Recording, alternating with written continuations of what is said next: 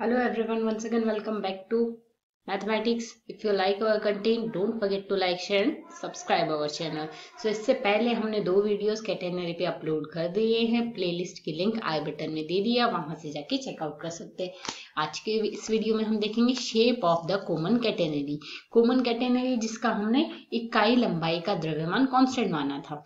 Common catenary के लिए हम shape of shape of common catenary देखेंगे तो अब अगर हम यहाँ से देखें, हमने लास्ट वीडियो में यहाँ से कैटेनरी की कार्टेशियन इक्वेशन फाइंड आउट की थी कार्तीय समीकरण।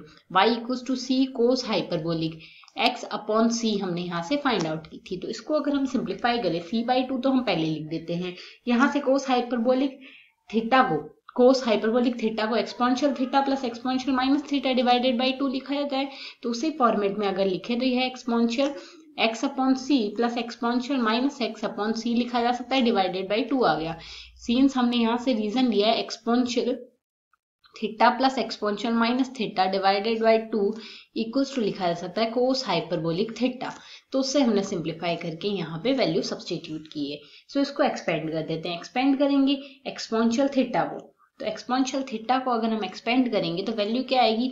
One plus theta plus theta square divided by two factorial plus theta cube divided by three factorial and then so on तो अगर हम यहाँ से इसमें वैल्यू रिप्लेस करें तो y इक्वल टू क्या आ जाएगा? C बाई टू इसको आगे सिंप्लीफाई करें so one plus one by one plus यहाँ से अगर एक्सपोनेंशियल माइनस थीटा देखें एक्सपोनेंशियल माइनस थीटा हमारे पास क्या आएगा? One minus theta plus theta square divided by two factorial आ जाएगा minus theta cube divided by three factorial आ जाएगा एंड देन सो ऑन हमारे पास यहाँ से वैल्यू आती जाएगी। सो so, यहाँ से प्लस थीटा माइनस थीटा से कैंसिल आउट हो जाएगा जब दोनों को ऐड करेंगे।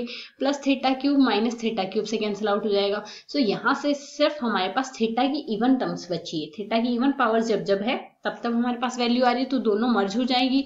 सो ओवरऑल वैल्यू हमारे पास क्या आ जाएगी?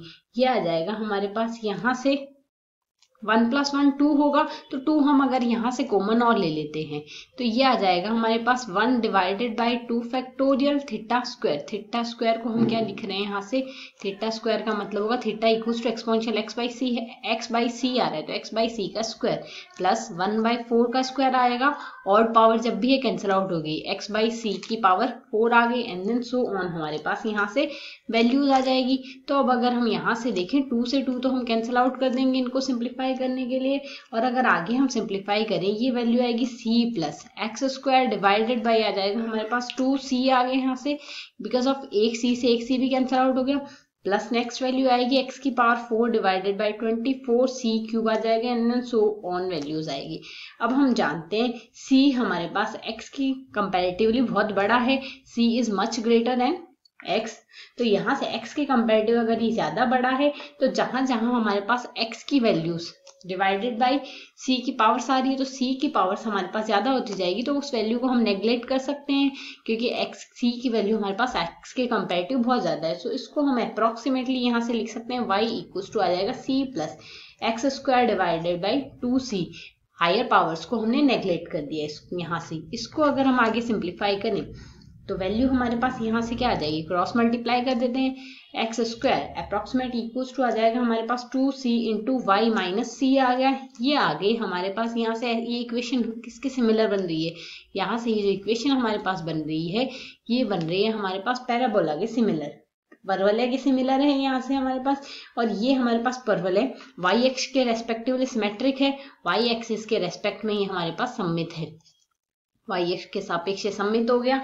साथ ही यहाँ से इसका कैटेनरी का एक्स आए अक्ष बनेगा हमारे पास वाई एक्सिस शीर्ष बिंदु अगर हम यहाँ से देखें, और यहाँ से इसका लोवेस्ट पॉइंट सी है ही हमारे पास, इसका नाभि लंब अगर हम फाइंड आउट करेंगे, नाभि लंब बन रहा है हमारे पास टू सी ये आएगा इसका नाभि लंब, जिसको हम सी की वैल्यू सिंप्लीफाई करेंगे T zero divided by W ये आ रहा है हमारे पास यहाँ से इसका नाभि लंब।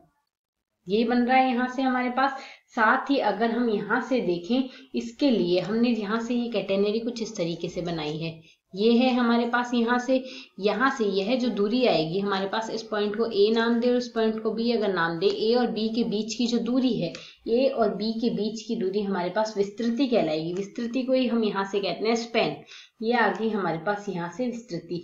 और यहाँ से ए और बी की क्षेत्रीय रेखा से शीर्ष से गहराई जो आएगी, ये हमारे पास इसकी जो गहराई बनती है, ये बिंदु सी अगर लोवेस्ट पॉइंट ले तो सी से हमारे पास ये जो गहराई है, इसे हम कहेंगे सैग सैग या फिर झोल कैटेनरी का झोल या कैटेनरी का सैग इसे ही आनमन कहते हैं। यहाँ से कुछ इसी तरीके से ये एक्स एक्सिस लेते हैं, ये हम यहाँ से वाई एक्सेस लेते हैं, ये हम यहाँ से ओरिजिनल लेते हैं।